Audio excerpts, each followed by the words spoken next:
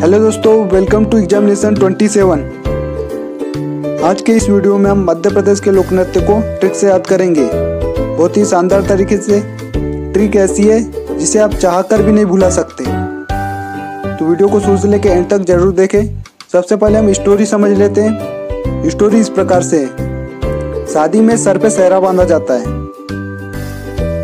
अब शादी है तो खाना तो बनेगा ही। खाने में ज्वार की रोटी और राई का साग। राई यानी कि सरसों का साग।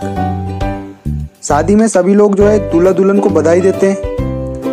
अब शादी है तो बिना डांस के तो होगी नहीं। डांस ज़रूर होता है। और डांस में सभी लोग अपने अपने स्टाइल से डांस करते हैं। कुछ लोग क्या करते हैं? सर पे मटकी रख लेते हैं और पैरों के नीचे ताठी रख के ताठी यानी कि थाली रख कर डांस करते हैं। तो कुछ लोग हाथ में डंडा ले लेते हैं।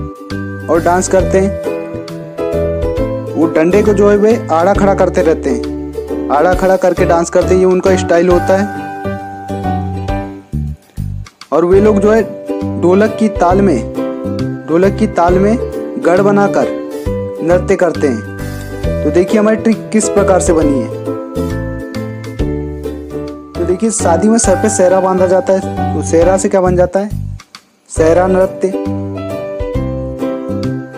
अब खाने में ज्वार की रोटी बनी थी तो ज्वार से क्या बन जाएगा? ज्वार नृत्य। और राई राई से बन जाता है राई नृत्य।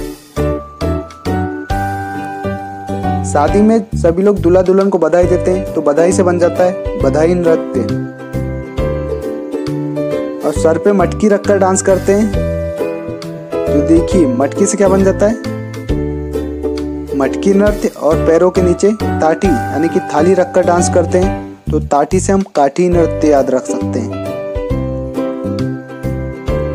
और कुछ लोग हाथ में डंडा लेकर डांस करते हैं। तो देखिए डंडा से क्या बन जाएगा? डंडा नृत्य। और वे लोग डंडे को आड़ा खड़ा करते हुए नृत्य करते हैं। आड़ा खड़ा से क्या बन जाएगा? आड़ा खड़ा नृत्य।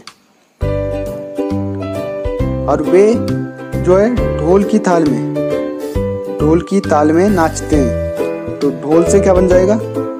डिमराई नृत्य।